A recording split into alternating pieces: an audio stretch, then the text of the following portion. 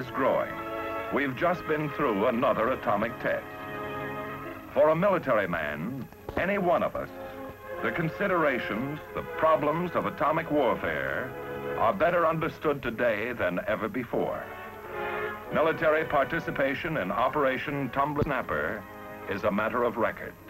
Experience to be used for military plans of both warfare and future atomic testing. The Nevada Proving Ground is beginning to be an old stomping ground for a lot of us in the services. On Tumbler Snapper, as on Buster Jangle back in the fall of 1951, headquarters in the forward area is a boom town called Camp Mercury, lying some 20 miles to the south of the test area. This is the place for living, working, and any recreation you are able to squeeze into a very busy schedule. The Armed Forces machine for atomic testing was better oiled than ever before. Every element of that machine ran a good many long, hard hours, hot days, and cold nights to meet a rigid schedule of nuclear detonations. If you've ever been on an atomic test before, either here in Nevada or overseas at Eniwetok, chances are you've made a good many friendships with people you see only once or twice a year.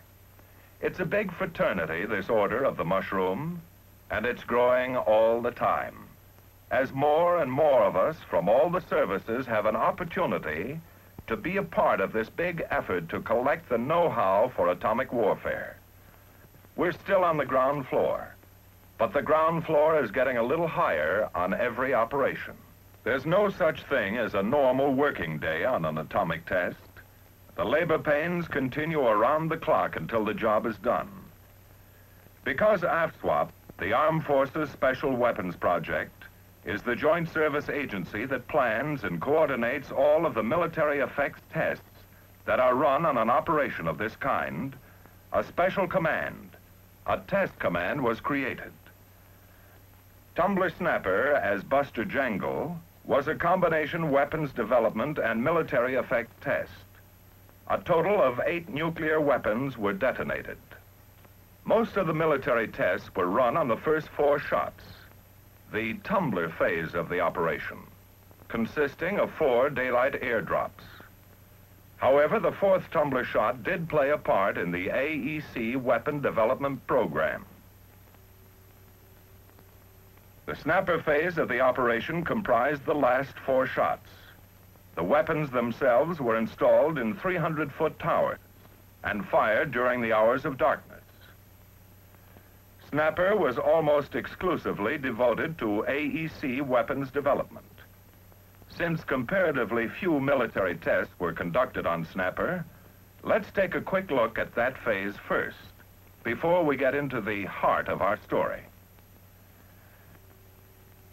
At this moment, the installation of a test weapon is being completed in the first zero tower cab.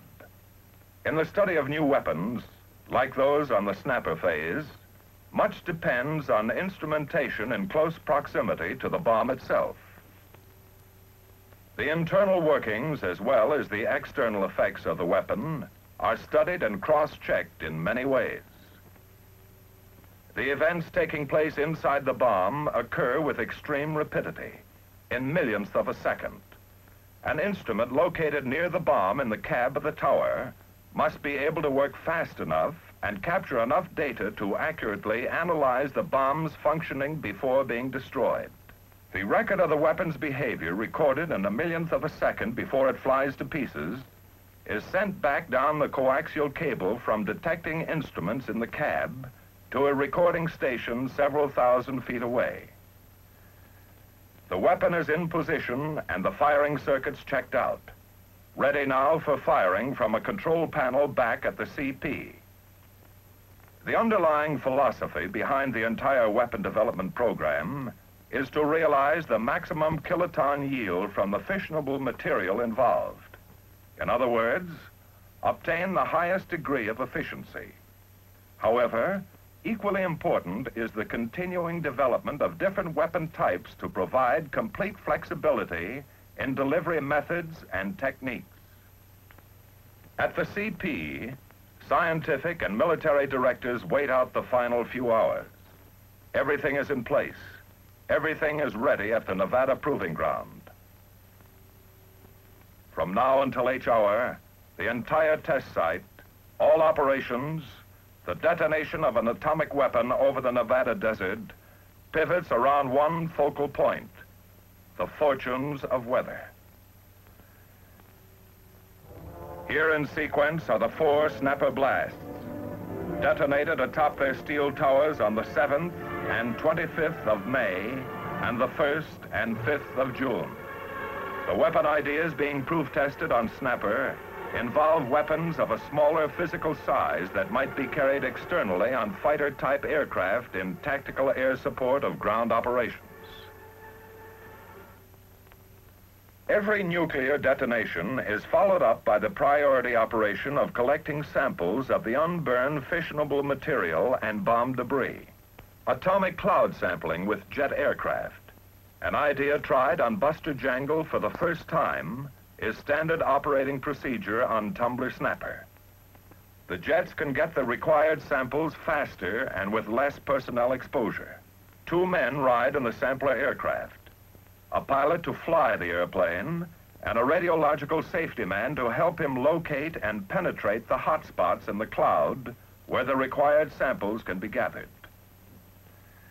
The planes themselves are radiologically hot, very hot because the skin of the airplane has collected bomb debris too. The problems of working with high levels of radioactivity are pretty well understood by this time. The safety precautions have been proven and defined in the course of literally dozens of cloud sampling sorties on previous atomic tests. The approach is realistic. The hazards are understood thoroughly. The cloud samples themselves are collected in wingtip sniffers, specially designed tanks suspended from each wing. Inside the sniffers, chemically pure paper filters are installed to latch onto and hold particles of bomb debris the plane encounters in its passes through the cloud. The operations are simple and literally eliminate the possibility of any serious personnel radiological contamination. All post-blast recovery of sample papers, as well as decontamination of the planes, will take place here, at a safe distance from the flight line.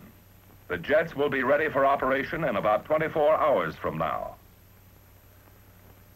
Once the sample paper from the sniffer is removed, it is placed in a lead coffin for safe transport to Los Alamos and complete radiochemical analysis.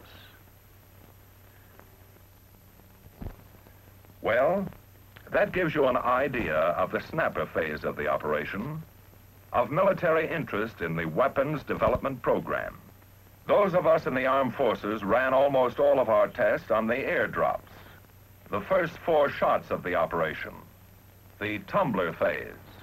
On Tumbler, we had to get the answer to what was perhaps the most important military question with respect to the effects of atomic weapons since the proof test of the first bomb at Alamogordo. Back in about 1948, a series of curves were prepared on blast pressures versus distance for different heights of burst and different yields of bombs.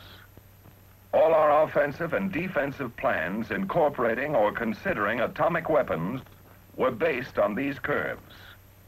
These curves are wrong. The error is severe according to more complete data collected on later atomic tests.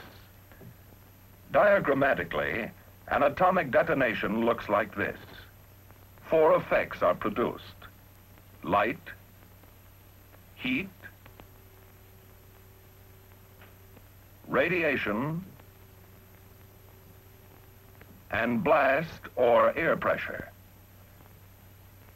Since blast is the primary destruction force of the bomb, let's take a closer look at the blast portion of the event. The bomb is detonated in relatively cold air. The pressure wave produced by the energy released moves faster than the speed of sound in all directions at the same time, in what is known as the incident shock wave. The air is heated by the sudden compression caused by the shock wave. As the incident wave strikes the ground, most of the energy bounces back in a reflected wave.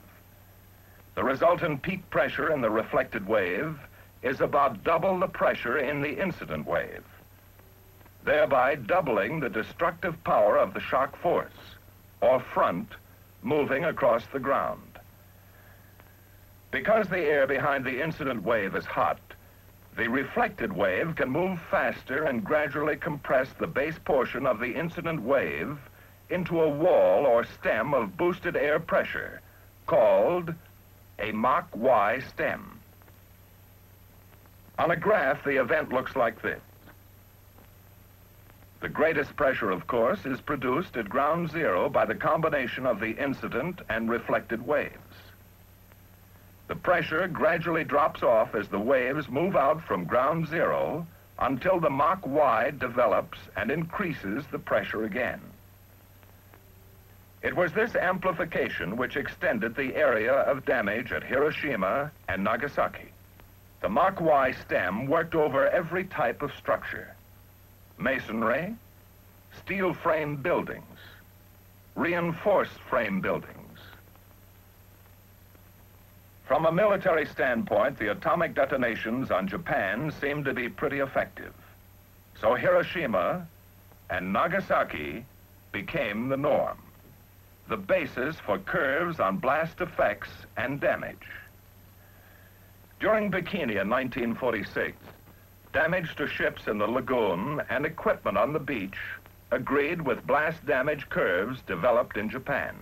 Theoretical height of burst curves were developed from effects observed during Hiroshima and Nagasaki, the Able shot at Bikini, and were backed up by high explosive experiments.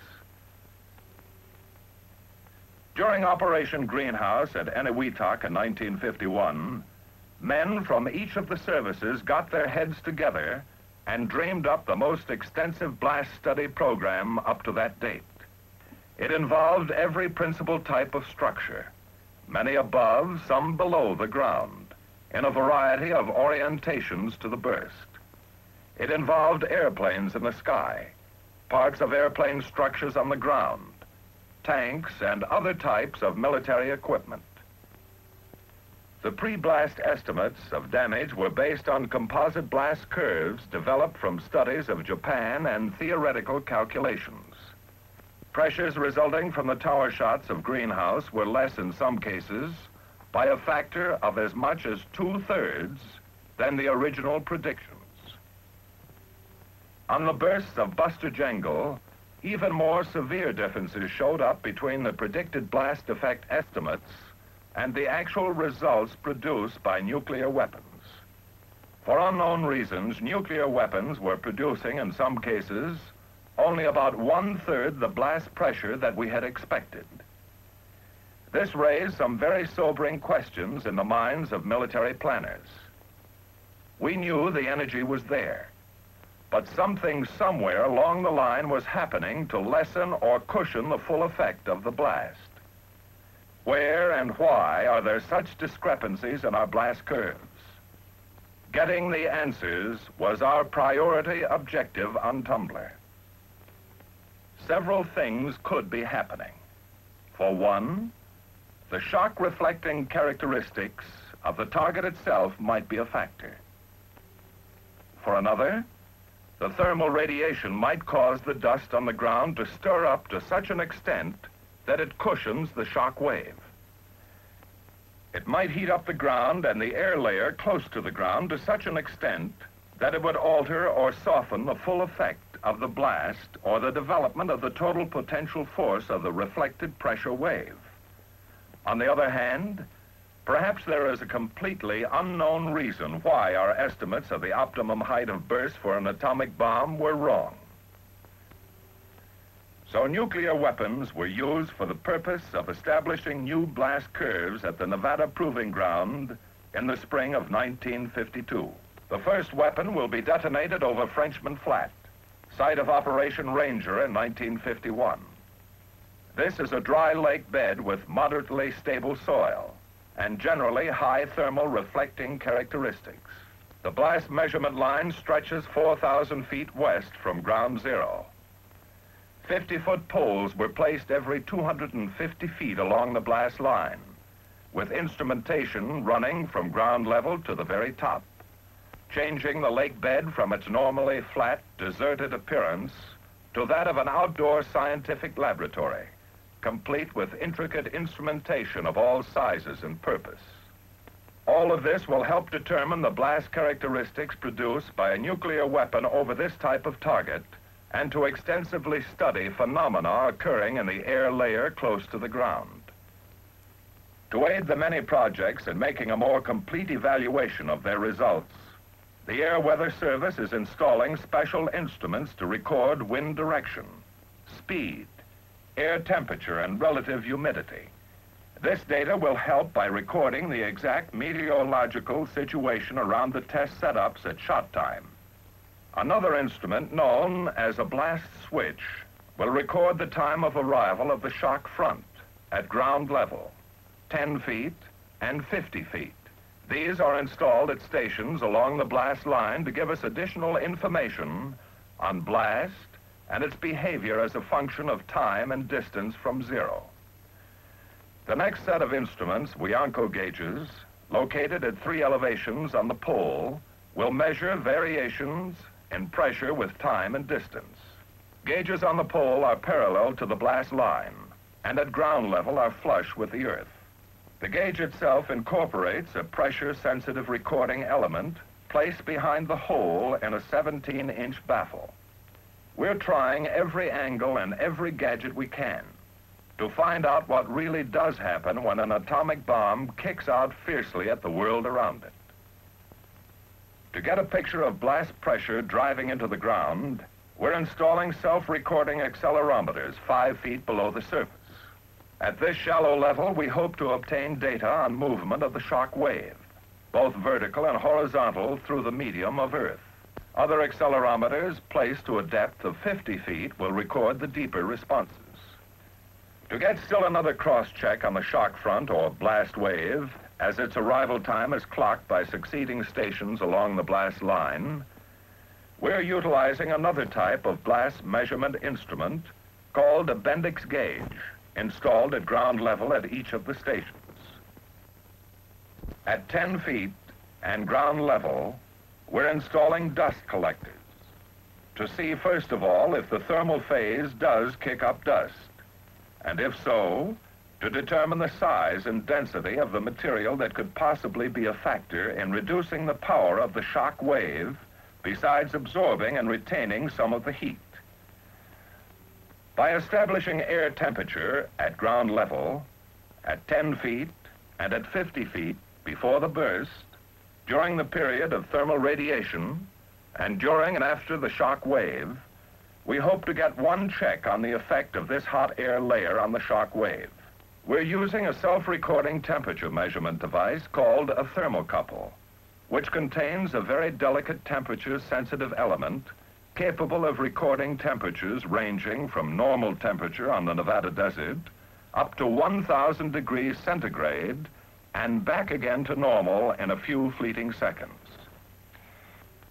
At some of the closest stations, we're installing other types of air temperature gauges two and four feet above the desert floor to further our studies on air temperature versus time in proximity to zero point. We're installing another gadget, a sound velocity recorder, to give us still another cross-check measurement of the temperature of the air above the ground at the time of the burst, during the period of thermal radiation, and up to the time of arrival of the blast wave. This is done by measuring changes in the velocity of sound produced and received by the instrument. We hope this will prove to be still another way to determine the interference of the hot air layer close to the ground with the subsequent blast wave. By sundown the day before the shot, we had our blast line poles fully decorated like a row of weird Christmas trees. The working scaffolds had been pulled down. The cable trenches filled and the area leveled. Our job is over for the present. All we can do now is wait. What has been feverish activity during past days and weeks suddenly becomes quiet, studied, in a way desolate. This is the last check. The final inspection by Los Alamos and military test directors as they survey the blast line with its complicated array of instrumentation above and below the ground. All is secure. Frenchman Flat stands alone and ready for the first shot of this operation. Shot day. Zero hour minus 10 seconds. The drop plane has released the first weapon of the operation. And as the bomb falls, smoke rockets are fired to form a grid. High-speed cameras record their responses as a measurement of blast pressures above the ground. This bomb is not a test of a new idea, but a weapon with a one kiloton yield detonated at an altitude of 800 feet to closely correlate the effects with the low yield bomb of Buster Baker. Once the dust is settled and the safest routes for reentry are chosen for us by the RadSafe people, we quickly move back to the blast line stations to recover our instruments and their very hard to come by data as soon as we can. Although radiation levels are high and working time is short, it's perfectly okay for us to go in and pick up our priority data. We're all understandably anxious to get the answers although this may take weeks or months of study and evaluation before the final determinations are made.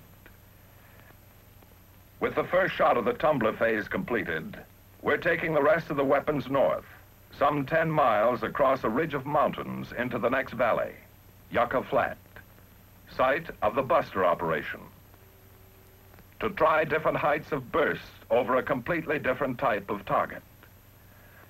Stretching to the south, 12,000 feet from ground zero, are the various military effects measurement lines.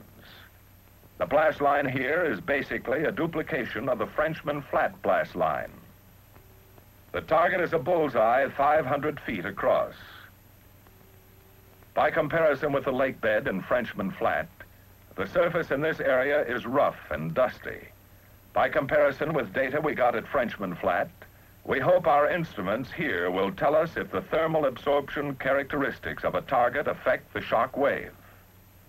Here we will also get a valuable check on the effect of the height of burst, on the development and effectiveness of the shock wave and Mach Y stem. Tumbler, shot two, 15 April 1952. The weapon for Tumbler, shot number two, is the same size as the one detonated over Frenchman Flat.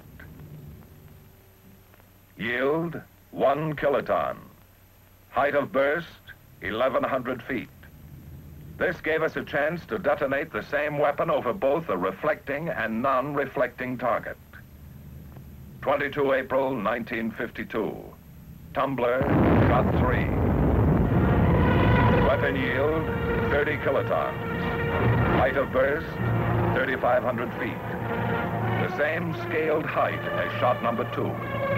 These two tests should together provide an excellent check on the normal blast scaling laws.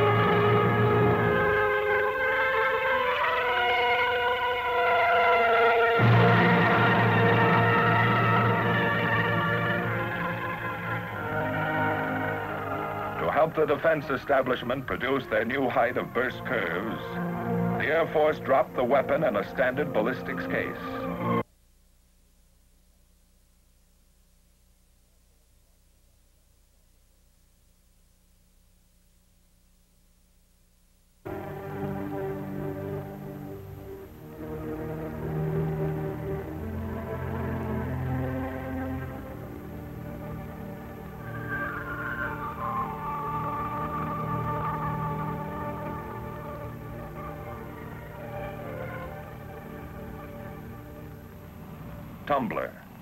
Shot four. H minus one minute.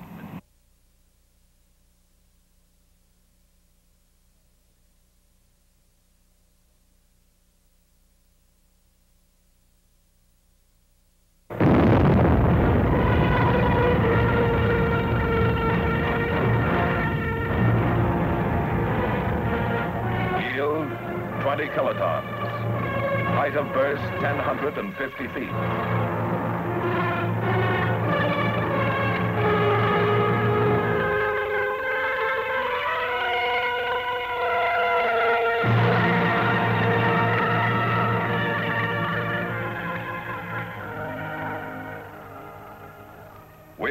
The opportunity to measure and study the characteristics of blast, the basic destructive force released by an atomic bomb. To study it in the course of four detonations over two types of targets, three different heights of bursts, and three different yields. The tumbler operation provided good experimental data on which we can base new height of burst curves for operational use. These curves falling between the old theoretical curves and the data obtained during Buster, providing for the first time experimental proof of the advantage of detonating an atomic bomb high in the air when weak targets such as aircraft are involved.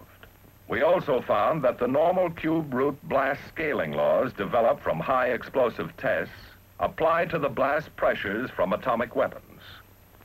A new phenomena which may account for the low pressures measured on previous tests was observed for the first time on the fourth shot of Tumbler.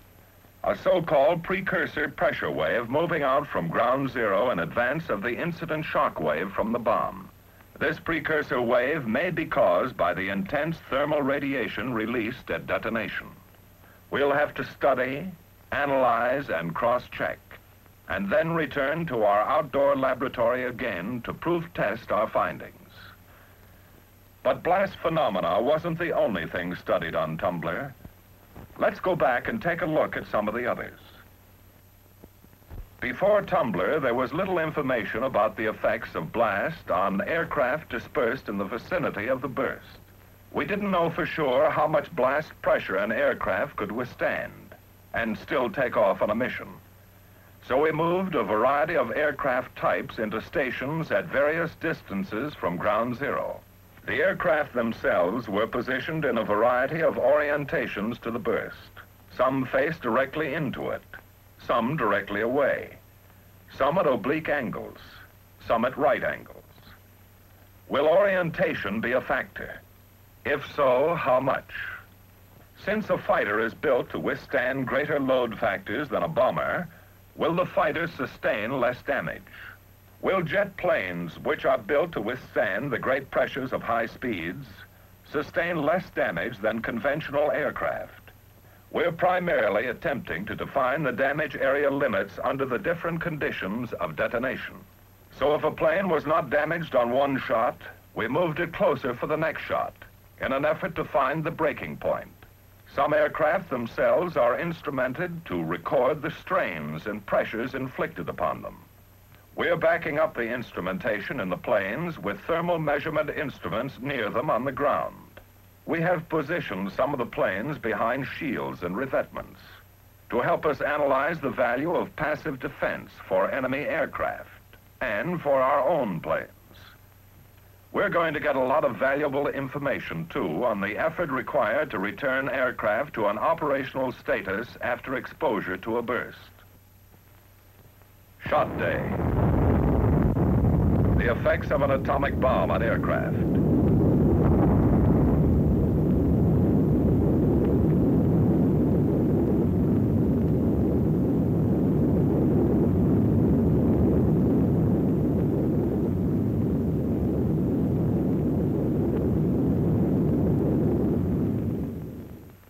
After a shot, we're all anxious to get back to our test setups and see for ourselves what happened. The data is here. It only needs to be recovered and analyzed in order to be applied to the plans and problems of atomic warfare. Among many other things, we learn that bombers do receive more damage than fighters. Jet aircraft generally sustain less damage. Planes in a side orientation to the burst receive the greatest damage. In all cases, damage is closely related to the height of burst, distance from ground zero, and kiloton yield of the bomb. Planes in some cases can be returned to operational status after exposure to an atomic detonation. Some can go into operation immediately. Hopefully, this program will give our military planners a great deal of new and vitally important offensive and defensive information. While we're trying all the time to better our position and approach to offensive use of atomic weapons, we're trying just as hard in the other direction to learn all we can about protection and defense against effects of the bomb. Normally in combat, when a man doesn't have something like a trench or a foxhole to seek shelter in, he takes advantage of whatever protection is available, such as a forest or heavy foliage. So we went to Mount Charleston near Las Vegas, selected and carefully removed some evergreen trees that were in perfect condition to bring to the test site. We've been making studies for years on the thermal characteristics in different forest situations. By pulling trees over, breaking them, and various other tests, we have developed some very reliable systems for estimating the static forces necessary to damage trees. Now we need to learn the reaction of trees to the dynamic forces and thermal radiation produced by atomic weapons. Once the trees arrived at the site on special trailers, they were carefully removed to minimize the amount of breakage and planted in concrete foundations at varying distances from ground zero. Since we know the breaking point of these trees pretty well, we're trying to place them in positions and at distances to measure how much the trees will bend under the shock wave forces. Then we know how much more it would take to break them. We're instrumenting the trees with strain gauges, scratch gauges, and other gauges. Some of our other trees are like something right out of science fiction. During the operation, they took on the nickname of lollipops. Actually, they're idealized tree models, consisting of flat metal plates mounted on steel beams. The lollipops are instrumented to help us determine the motion and bending strain on trees subjected to the fierce pressures in the shock wave. This combination of real and idealized model trees will also help us to get a good reading on the drag forces of tree crowns. Fires may be a discouraging factor too. So we're setting out a variety of things that could ignite and burn in a forest. These are known as forest fuels, materials that might carpet the floor of any forest, such as logs, pine needles, beech leaves, cheat grass, moss, and fir needles. The blast and fire of an atomic bomb are even more dangerous in populated areas. So we're exposing specimens of common structural details, covered and uncovered wall angles. Some bare, some exposed with materials that will ignite easily, approximating inflammable trash found in almost any urban area, plus various types of roofing. All of these structural components are without defects that would tend to cause them to ignite or burn. All of this to determine the vulnerability of building components to ignition and sustained burning from atomic weapons. We're also setting up cubicles or miniature buildings to relate the study even more specifically to the problems of a city exposed to an atomic bomb. To find out what ignites inside, we're installing various types of furnishings, such as wood tables and chairs. This project is looking for primary ignitions, not secondary ones from overturned stoves or damaged electrical circuits. We're also going to be able to study the interaction between thermal radiation and the blast wave, and the characteristics of the blast wave in spreading or putting out fires. Our forestry line is ready. Shot Day.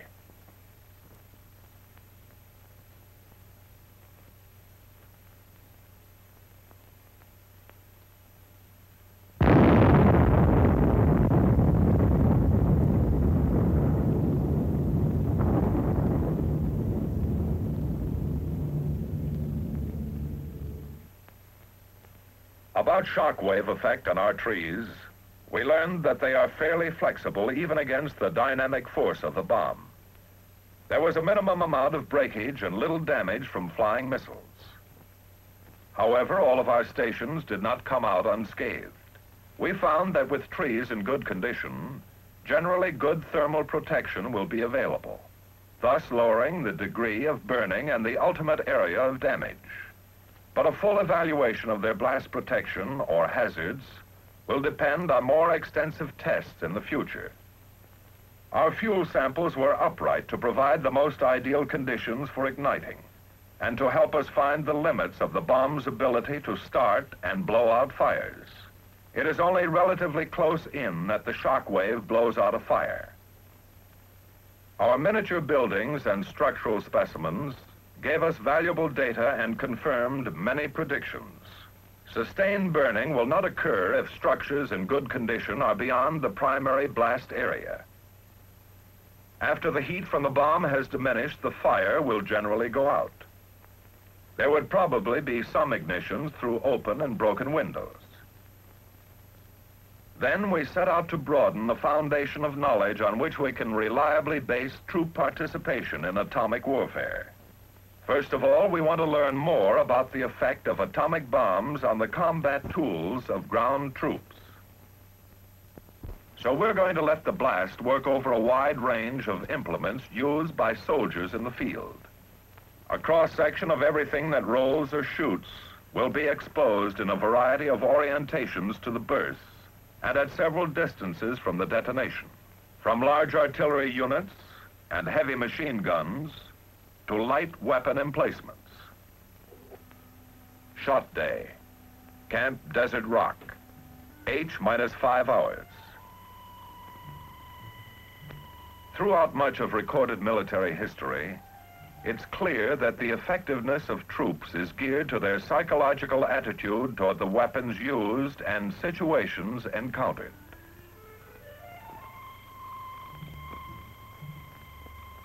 At their base camp, Desert Rock, these men are mustering for an atomic warfare maneuver, only the second series of its kind in history. Though they're very much a part of Tumbler Snapper, they operate independently as they would on a military maneuver. They've all been thoroughly briefed on the hazards, precautions, and techniques of their tactical operations in the area of a nuclear detonation.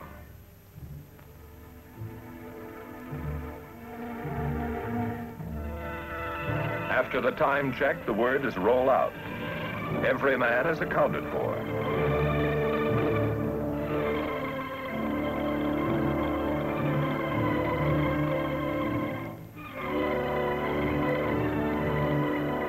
Every man has his own film badge to record the degree of his own personal exposure.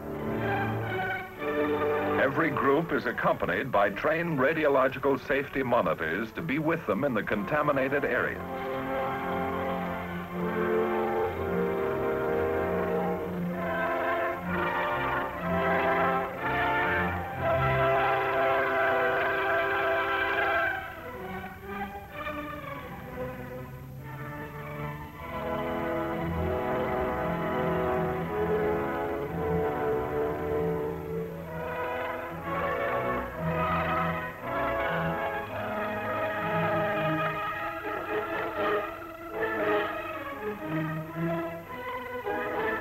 Flat, Desert Rock Entrenchment Area, four miles from ground zero.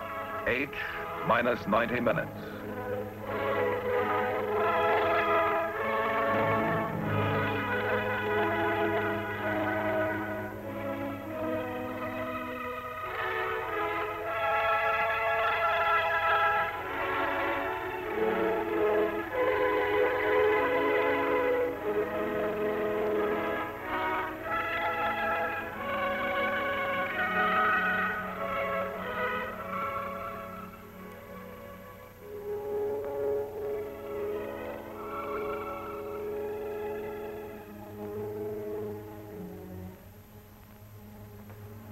Like all too many people, both in and out of the military, before these men got their assignment for this operation, they had many misconceptions about the bomb and its effects.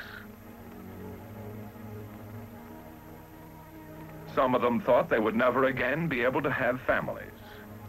Some of them expected to be deaf or blind. Some of them expected to glow for hours after the bomb went off. Like so many people, many of them were afraid. They had never taken the time or invested the effort to learn the facts about what to do in case of atomic warfare. These men have been indoctrinated in what goes on and what to do when the bomb goes off. Any doubts that are left will be eliminated after the full experience of this operation. Planning level observers from throughout the defense establishment have an opportunity to study the maneuvers from close range. H hour minus five minutes.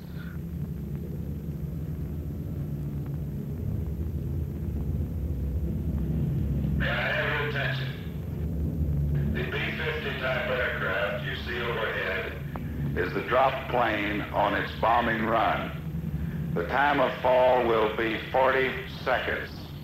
You will hear the countdown from the bomb away until the first time.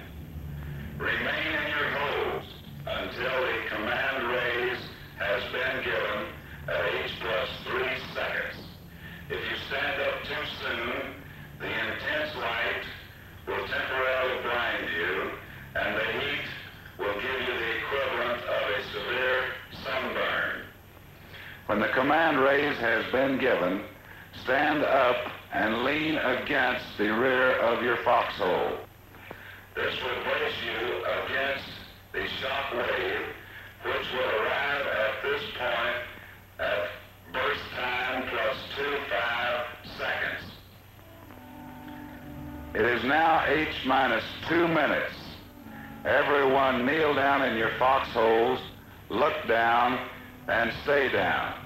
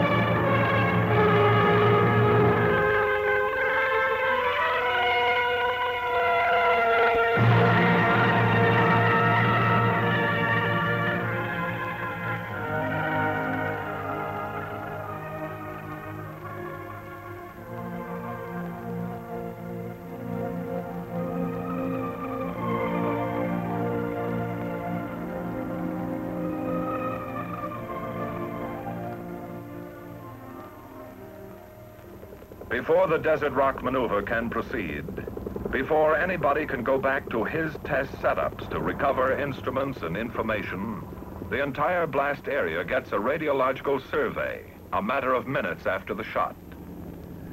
The armed forces are responsible for all radiological safety on the operation.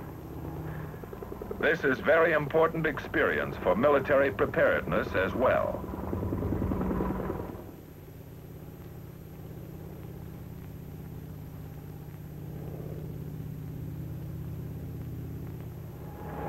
The helicopters can hover close to the ground, survey and double check any questionable areas.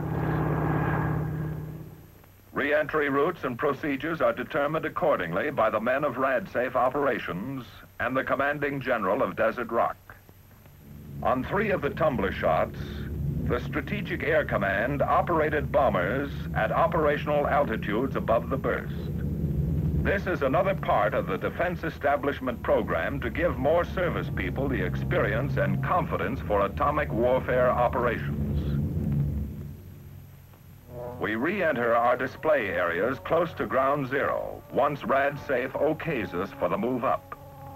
Since the biggest value of the operation is for us to prove to ourselves that it can be done and find any weak points in the training, psychiatrists are with us to study our reactions before, during, and after the experience. No one can ever fully make you realize what you'll see and feel when you experience an atomic weapon detonated for the first time. It's quite an experience, no matter where you are to watch it. This kind of experience is immensely valuable for any military man, and it will be a part of the tactical training for a great many Army and Marine field forces in the future. In the minds of many of the men, there was doubt and fear before.